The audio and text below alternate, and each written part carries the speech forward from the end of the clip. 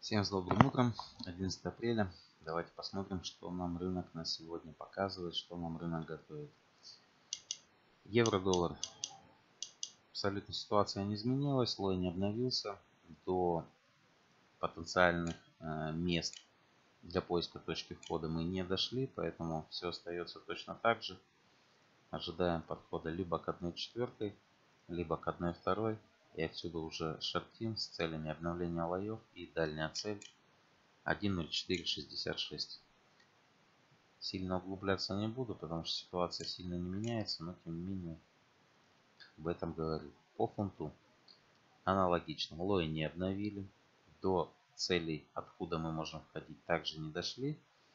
Пока находимся на этой промежуточной стадии. Как только подходим к зоне 1.4, будем искать точки входа на продажу. Цель обновления лоев и наша зона. Точные котировки 1.2231 и лои 1.2362. Варианты, как всегда, либо так, либо так. Audi. Вчера тут рисовали. Audi. К сожалению, здесь немножко не хватило. То есть у меня ни алерт ничего не сработал. Мы зону не отработали. Именно поэтому у меня входа в позицию пока нет. Если мы отработаем зону и перебьем этот хай, то наш КМ будет вот такой. Соответственно, вот таким образом будем пытаться работать вниз с целями, указанными уже давным-давно. Первая цель у нас Опять же, обновление минимумов вот этих. Вторая цель 0.7449. Это первый вариант работы. Это второй вариант работы. От зоны 1.2 0.7551. При тестировании этих котировок ищем точку входа на продажу. Новозеландец. Новозеландец отработал зону 1.4. Э, нарисовал КМ пробил этот КМ и совершил ровно 50% откат. Да, вот в принципе мы прям четко на минутке видим, мы схватили эту котировочку, эти заявочки вот здесь. Сейчас находимся в позиции стоп, соответственно, за локальный хай. Первая цель у нас находится на обновлении минимума, вторая цель зона. То есть соотношение первое 15 к 35 и второе это 15 к 75. Если мы выбиваем стопы, эта точка будет у нас контрольным минимумом при условии, что мы ее не обновим сейчас в процессе. Как только мы ее обновим, надо будет здесь посидеть, посмотреть. Возможно, более продуктивным будет, если мы передвинем стоп без убыток. Хотя бы по одной сделочке. В принципе, вот Новая Зеландия, то, о чем вчера предупреждали, что в позе низкого старта находимся. Новозеландец сработал. Канадец. Эта зона теперь у нас не актуальна, так как мы ее пробили и закрылись ниже. С сегодняшнего дня у нас появляются первые цели внизу. Соответственно, верхнюю цель смело можем написать как неотработанную цель. Статистика, к сожалению, э, ну или к счастью, гласит нам о том, что 20-25% целей – мы не отрабатываем. Соответственно, мы спокойно себе помечаем, что мы эти цели не отработали. И затем точно так же внесем это дело в статистику. Что у нас сейчас по канадцу? Сейчас по канадцу мы наблюдаем. Ну, в принципе, мы находимся в самом низу, на самых лоях. Для того, чтобы более выгодно, более адекватно зайти в сделку, необходимо протестировать либо зону 1 четвертую, либо зону 1 вторую. То есть варианты работы по канадцу либо так, либо вот так. Новыми целями становится обновление тех лоев, которые есть сейчас, если мы не обновим и дойдем до зоны. И дальняя это 1, 32, 33. Это наша дальняя среднесрочная цель, которой мы должны дойти, несмотря на то, что дадим мы откат, не дадим откат. Это наша цель. По канадцу все. Гена. Про Йену даже пока говорить ничего опять не хочу. Как стоим в этом участке. С флетовым так и стоим. Пропускаем. Швейцарец. Опять же, ничего не поменялось. Область покупок находится вот здесь. Котировки 1.0040, 0.9974. Первая цель обновления хая, дальняя цель 1.0210. Либо так работаем, либо так. Каждый из этих точек ищем подтверждение слома коррекционного движения.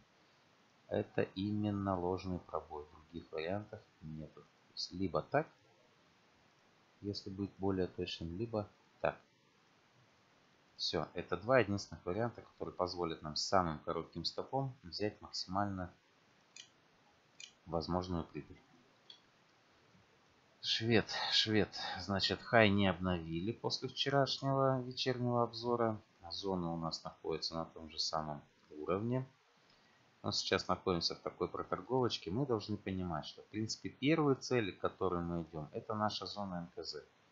Все, что нам даст инструмент дальше, это только, ну скажем так, добавочки, доливочки, которые мы надеемся, что они будут, но это уже не сто процентов, скажем так. Но тенденции на слом лонгового движения у нас не было, сигнала на слом не было, закрытия ниже зоны не было, поэтому работаем опять либо таким образом, либо соответственно от зоны 1-2 таким образом. Цель 9, 11, 917. Первая цель обновления хаев. Евро против фонта.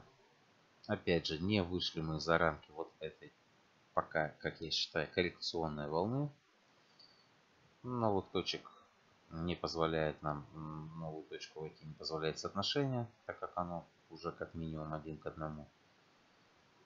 Поэтому на сегодняшний день точно, точно мы пропускаем этот инструмент. Евро-иена. Зону мы не отработали. Все-таки надеялся, что мы до нее дойдем. И здесь уже где-то искать. Не дошли буквально 7-8 пунктов, но раз не дошли, значит точки входа не было. Если лои не обновим, то соответственно сейчас эта зона у нас будет выглядеть вот таким образом. Вот отсюда мы должны искать продажи с целями 116.32. Ну и первая цель обновления лоев. Можем, конечно, упасть без отката, без всего. Нас это не интересует. Мы работаем только на откате. Далее фунт иена. Вчерашний прогноз полностью смотрим, ничего не поменялось. Варианты опять те же самые, но у нас, если мы сейчас дойдем до этой зоны без отката, вот он будет КМ, который плохой КМ, неправильный КМ, очень далекий.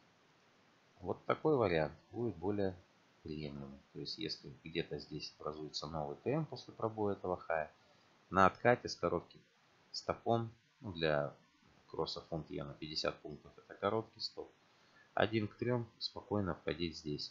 Более выгодный вариант с точки зрения соотношения это, конечно, работать отсюда. Но чисто по технике у нас, э, если мы до сюда дойдем, то вероятность слома всего широкого движения будет очень большой. Поэтому я, конечно, буду ожидать вот такого варианта работы. Евро Ауди. Прям руки чешутся продать, честно. Раз, два, три, четыре, пять дней мы стоим на уровне зоны 1-2. И закрытия выше нет. Очень сильный игрок, хоть их и немного, это кросс. Очень сильный продавец находится вот здесь. Очень сильный. Именно этот продавец не пускает этот кросс выше. Он его пытается удержать. Есть у нас локальный хай, за который мы в принципе уже можем спрятать стоп. И если все вот это вот посчитать, это 240 пунктов даже если просто по рынку входить 70 на 170, ну, чуть-чуть повыше, чтобы соотношение 1 к 3 можно попытаться войти, потому что вход достаточно выгоден нам именно по соотношению. Я же опять же чисто буду ждать все-таки пробоя вот этого КМ. Если у нас этот максимум, этот максимум брать, это КМ. То есть вот такая формация. В любом месте мы пробиваем. И только тогда на откате с таким стопом, с таким тейком я попытаюсь войти. Причем это будет у нас первый тейк. Второй тейк у нас 1.3806. Соотношение еще более лучшее. Тоже пристальное внимание вот сюда. Даже спокойный алерт нужно поставить для того, чтобы не упустить этот момент. Audi Некоторые вчера входили.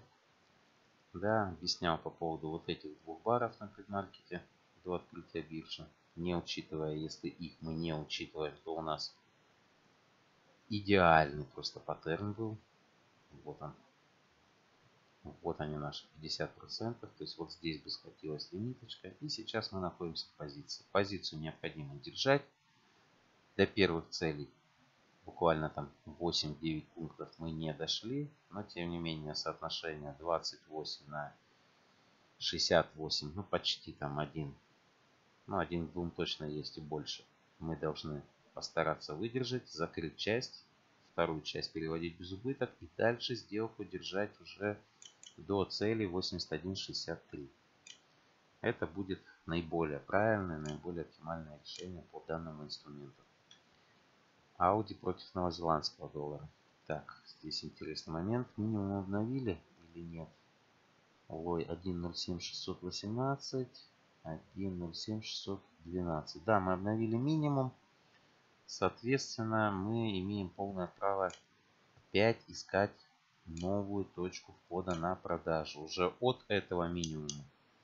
Ну, зоны практически совпадают. Буквально несколько пунктов по пятизнаку. То есть можно было и эту продлить.